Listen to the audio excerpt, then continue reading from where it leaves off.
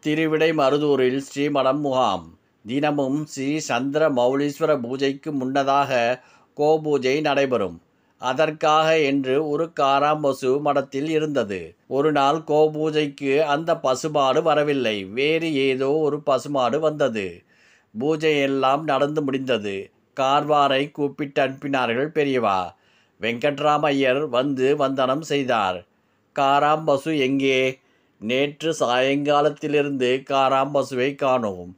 அறுத்து கொண்டு ஓடி போயிருக்கிறது. நேற்றைக்கு தேடி பார்த்தும் கிடைக்கலே. இன்னைக்கும் ஆட்கள் போயிருக்கிறார்கள்.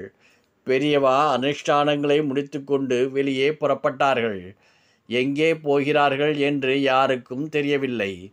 தெரு தெருவாய் நடந்து போய் குடியானவ தெருக்கு வந்து விட்டார்கள் பெரியவா. தெருவாசிகளுக்கு மிகவும் வியப்பாக இருந்தது. ஆங்காங்கே நடுத்தெருவில் விழுந்து நமஸ்காரம் செய்தார்கள்.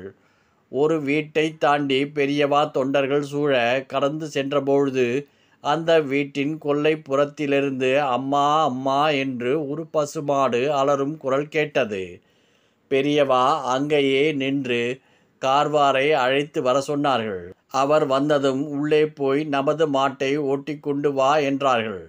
அவர் அவ்வாறே உள்ளே சென்று மடத்து காராம்பசு அங்கே கட்டப்பட்டிருப்பதை பார்த்து அதை ஓட்டிக்கொண்டு வந்து பெரியவா முன் நிறுத்தினார். மாட்டை பாசத்துடன் பெரியவா தடவி கொடுத்தார்கள். பெரியவாளிடம் அந்த வீட்டுக்காரன் வந்து வணங்கினான். இது மடத்து மாடுன்னு தெரியாதுங்க. வயல்ல பயிரை மேய்ஞ்சு கொண்டிருந்தது.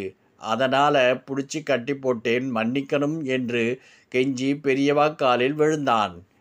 பெரியவா அன்பு நிறைந்த சிரிப்பு தோன்ற அவனிடம் சொன்னார்கள் நீ ரொம்ப சிரமப்பட்டு நெல் சாகுபடி செஞ்சிருக்கே.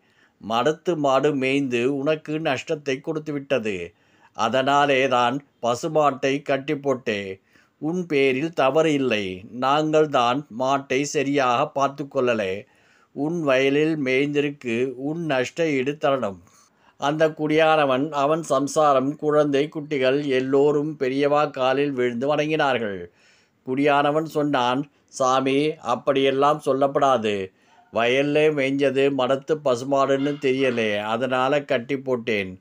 மடத்து மாடு எங்கள் வயல்ல மேய்ஞ்சதால விளைச்சல் ரொம்ப நல்லா இருக்கும் அதுவே போதும் நஷ்ட ஈடு எல்லாம் வேண்டாம்.